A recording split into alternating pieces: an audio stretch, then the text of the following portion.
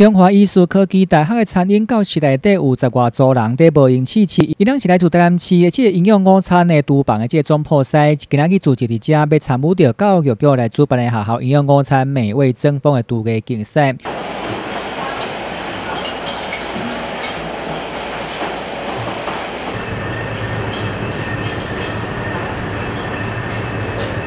呃，他们在自由发挥，但是这一次的参赛者用了很多在地的这一些食材跟蔬果来入菜，这是一个很好的创意。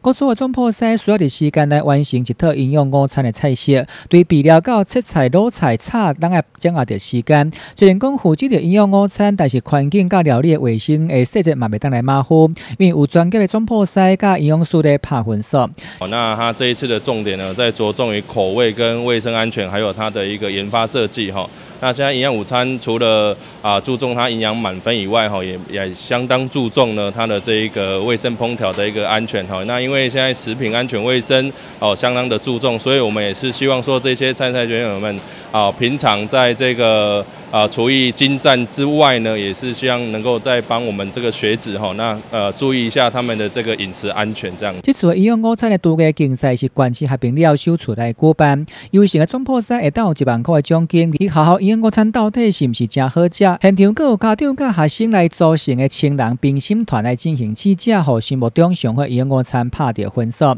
活动现场毛这个蔬菜气球活动的表演，同时各有营养教育的闯关活动。真侪家长嘛，趁着机会出来囡仔做回来即个场馆体验，来一个健康饮食的机会教育。南面新闻台一城连的采访报道。